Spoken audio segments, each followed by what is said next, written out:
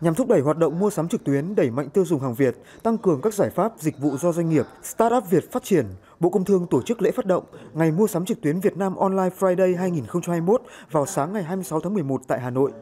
Với sự tham gia của các sàn thương mại điện tử lớn như Shopee, Tiki, Lazada, Sendor, Vỏ Sò, Ngày hội mua sắm trực tuyến năm nay ứng dụng các giải pháp công nghệ số trên nền tảng Internet và mạng viễn thông. Việt Nam hiện là một trong các quốc gia có hạ tầng mua sắm trực tuyến, tăng trưởng với 25% tổng số người dân tham gia. Ngày mua sắm trực tuyến 2021 cũng ứng dụng các giải pháp công nghệ số trên nền tảng Internet và mạng viễn thông để thúc đẩy giao thương trực tuyến, thương mại điện tử hiệu quả và đảm bảo an toàn an ninh thông tin. Trên cơ sở đó, phổ biến nâng cao trải nghiệm của người dân, người tiêu dùng về những nền tảng công nghệ số được ứng dụng trong thương mại điện tử.